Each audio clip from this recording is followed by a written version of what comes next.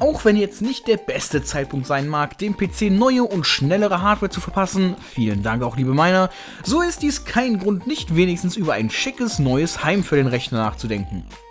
Und was wären wir doch für Amateure, wenn das neue Gehäuse nicht über geile LEDs und ein Sidepanel verfügen würde. Und tja, dann gibt es da noch das M908 von Intertech.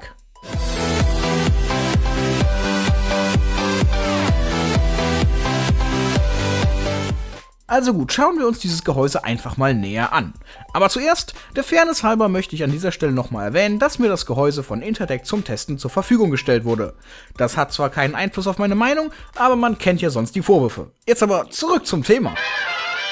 Wie unschwer zu erkennen ist das Gehäuse größenmäßig durchaus eine eigene Hausnummer. Bietet zwar innen viel Platz, nimmt nach außen hin aber natürlich auch ein gutes Stück weg. Neben der mehr als auffälligen Infinite Mirror Front haben wir eine Seite, die dank Plexiglas durchsichtig ist, sodass die vielen RGB-LEDs auch etwas zu tun haben. Obendrauf finden wir Tasten für An-, Aus- und Reset, einen Mikrofon- und Kopfhöreranschluss sowie jeweils zweimal USB 2 und 3.0. Die Tasten haben einen sehr, sehr angenehmen und gut fühlbaren Druckpunkt, sodass sich das Bedienfeld durchaus wertig anfühlt.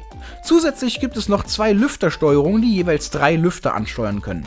Ich brauche sowas nicht, aber hey, cool, dass es dabei ist. Schade ist hingegen, dass hier bauartbedingt kein Einschub für ein DVD-Laufwerk vorhanden ist. Und ja, ich weiß ja auch, dass 5 Zoll Laufwerke immer seltener gebraucht werden. Aber ich bin doch tatsächlich gelegentlich noch drauf angewiesen. Ist also kein schwerwiegender Kritikpunkt, aber dennoch für den einen oder anderen nicht uninteressant.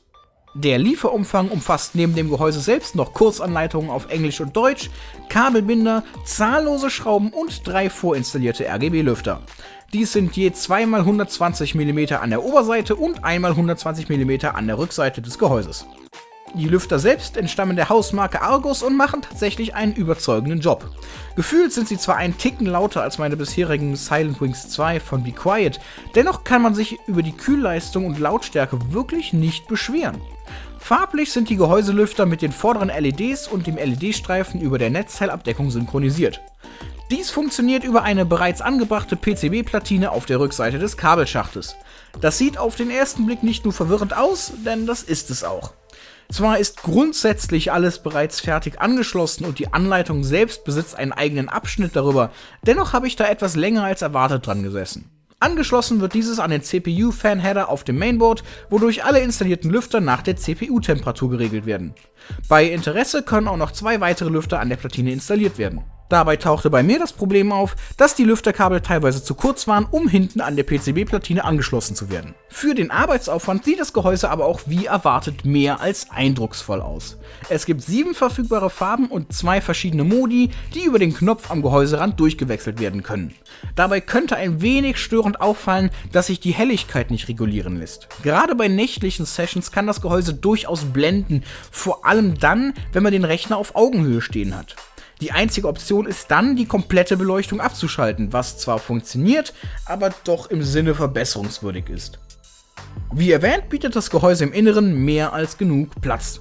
Unterstützt werden Grafikkarten bis zu einer Länge von 39 cm und CPU-Kühler mit maximal 16,5 cm Höhe. Falls die Grafikkarte anfangen sollte, etwas durchzuhängen, liegt dem Lieferumfang noch ein Grafikkartenhalter bei. Wer auf Wasserkühlungen steht, hat Platz für Radiatorengrößen von 120 bis 140 mm.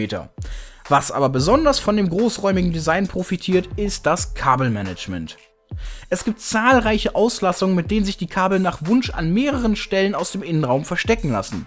Das klappt hervorragend und lässt sich wohl selbst von Laien einfach durchführen. Dementsprechend verlief der Einbau der Hardware zügig und tatsächlich ohne irgendwelche Probleme. Wie auch schon beim N21 lassen sich SSDs hier entweder sichtbar im Gehäuse oder aber auch auf der Rückseite des Mainboard-Trägers installieren.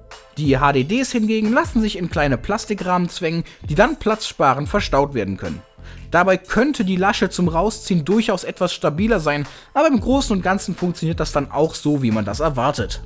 Erfreulich hingegen waren die einfach entnehmbaren Staubfilter am Deckel sowie unter der Gehäuserückseite. Das erleichtert das Säubern dieser doch ungemein und die bunten Gehäuselüfter kommen dadurch noch eindrucksvoller zur Geltung.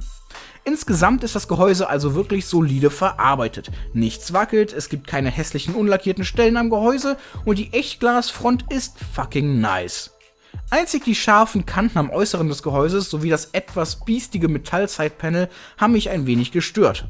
Letzteres ließ sich jedoch mit ein bisschen Geschick und Glück und Gewalt wieder richtig dran schieben. Vielleicht habe ich auch einfach nur linke Daumen bei sowas. Damit bleibt eigentlich nur noch eine Frage zu klären.